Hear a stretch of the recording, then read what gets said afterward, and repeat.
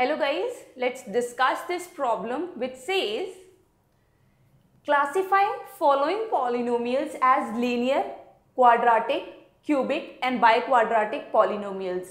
So you can see here there are four problems and you need to identify which polynomial is linear, which polynomial is quadratic, cubic or biquadratic. So now let's take our first problem which is x square plus x plus 4. What is quadratic equation? If the highest power of x in the expression is 2, then that equation would be quadratic equation.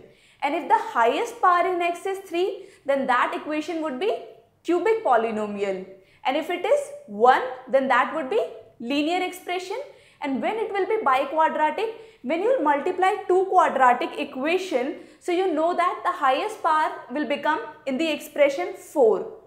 So here in this expression you can see that highest power in t, t here variable is t and highest power in t is 4. So when you will multiply two quadratic equation the highest power you will get after multiplication will be 4. So this is biquadratic. So now let's take our first problem which is x square plus x plus 4 as the highest power in x is 2 here. So this is quadratic equation. Now here this is 3y and here variable is y and the power on y is 1. If the power on y or in the expression is highest power is 1 then that expression will be linear expression. So this is linear polynomial. Now let's take our third problem which is t to the power 3 plus 1. Here in this expression highest power is 3. So this is cubic polynomial. Now here in this expression you can see that highest power is 4. So this is biquadratic. And why biquadratic? Let's take an example. As you know that this is highest power in this expression is 2. So this is quadratic and highest power in this expression as well is 2.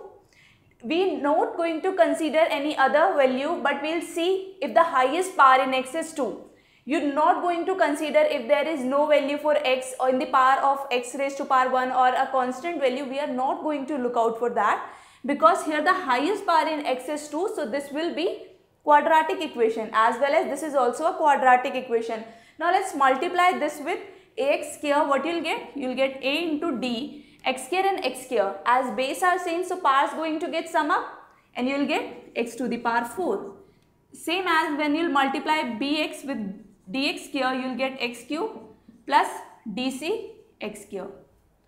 Now in this expression you can see that when you multiply two quadratic equation the highest power in x you will get x to the power 4 and here the highest power in x is x to the power 4 that's why this is biquadratic because this is the multiplication of two quadratic equation. I hope there should be no problem now you can easily identify. I will be taking more problems in the coming video lectures. Thank you.